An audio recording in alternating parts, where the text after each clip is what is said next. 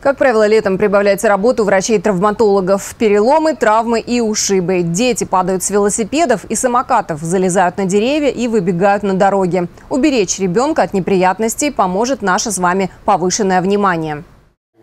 Глеб получил травму на футбольном поле. Перелом и разрыв сухожилий. Теперь вместо игр на воздухе больничная палата. Позади сложная операция на ноге. Она длилась три часа. Играл в футбол, потянул колено, произошел хруст. Ну, доставили меня в травмпункт. Сказали, что около месяца буду тут. Первое ощущение было очень больно, сейчас уже привыкаю к нему. Никифор Наумов заведует детской хирургией вот уже 36 лет. Говорит, травматизм летом увеличивается в разы. Дети падают с деревьев и заборов, самокатов и велосипедов, получают ожоги. Сейчас в отделении 16 юных пациентов. Самому младшему 3, старшему 14.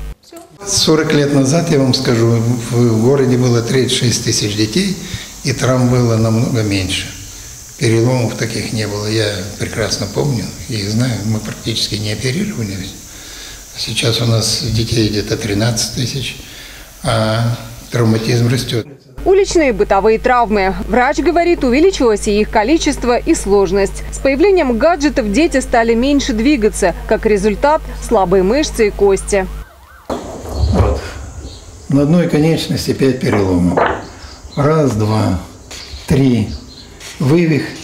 Чтобы не провести каникулы в гипсе детям, родителям нужно чаще объяснять простые правила безопасности. Почему так опасны игры на строительных площадках или в заброшенных зданиях. О том, что дорога требует особой внимательности. Ведь детский травматизм – это отчасти и вина взрослых.